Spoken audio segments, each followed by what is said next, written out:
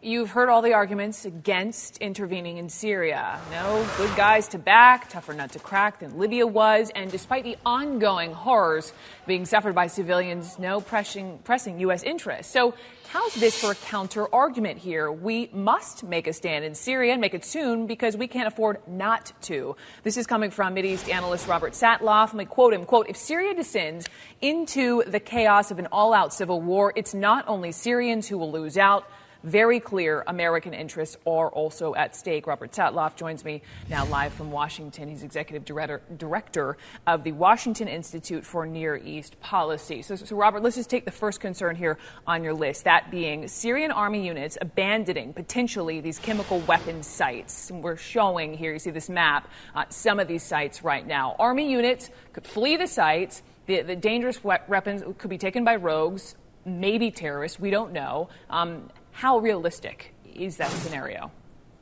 I think regrettably very realistic. Mm-hmm. Uh, the passage of time in Syria is our biggest enemy. The idea that a slow, grinding change opens up all sorts of opportunities for terrible outcomes. Here, it could be a mutiny, it could be soldiers leaving their post, they could be defeated by rebels. All sorts of things could be happened, could happen with the passage of time. Speedy change will help limit the downside negative effects of this. Yeah, you said time is not not an ally. You also talk about the, the potential danger for Syria to then lash out at its neighbors, you know, possibly to stir up trouble in uh, Turkey, in Jordan, in Lebanon. Uh, we could add Iraq to that list. We're already seeing a surge in sectarian violence there. Question is could the conflict in Syria ignite the entire region as it continues to worsen? Well, again, I'm worried mostly about American interests and what would engage the United States. We have to remember that Syria is on the border with NATO, that's yeah. Turkey, yeah. and on the border with Israel on the other side.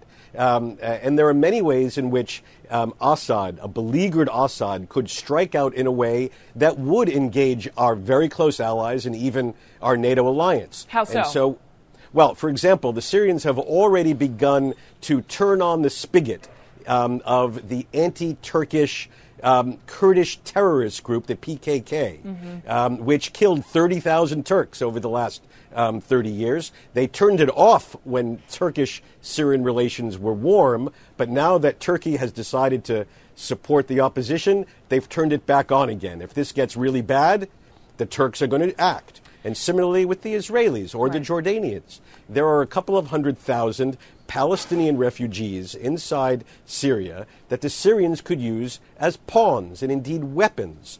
Pushing these refugees into Jordan on the Golan Heights would trigger conflict. And this is the way Assad might try to expand the conflict so as to save himself thus ultimately, um, you know, damaging uh, Americans, NATO, surrounding nations, as you point out. But I want to throw something else at you, and that being, you know, you look at one man could be, you know, from one perspective, a freedom fighter, could be another man's terrorist. So I just want to share some reporting. This is stellar reporting from our correspondent on the ground in in the area. This is Arwa Damon reporting on a group of Syrian rebels. Take a look.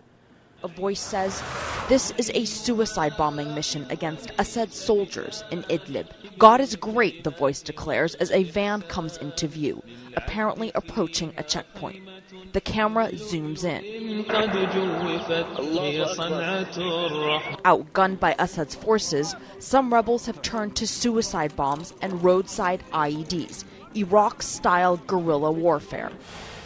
So the question becomes, and I know Libya is not at all Syria, but I remember we covered Libya, and the, the concern was, you know, uh, who are these? Who, who is the opposition? If we, if we do get involved, you know, who do we back? I mean, these are not necessarily nice folks, the rebels. Uh, who do we back? What do we do?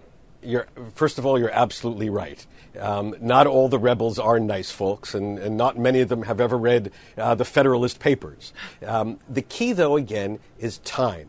So far, according to intelligence sources that I've been in touch with here and abroad, mm-hmm. um, there have only been hundreds of uh, jihadists that have moved from other countries into Syria, as opposed to the, the you know the, the, the, hundreds of thousands of opposition uh, uh, forces in general, and the tens of thousands that are in the armed opposition.